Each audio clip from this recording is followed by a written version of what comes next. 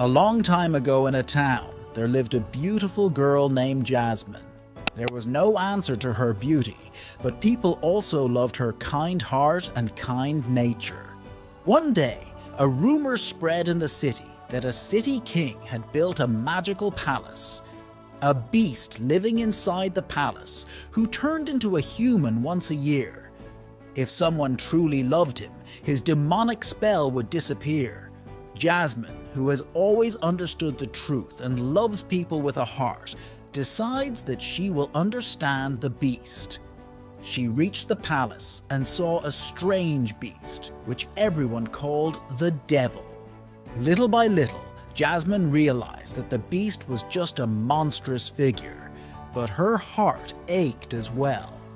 He started spending time with her, and then their relationship became stronger.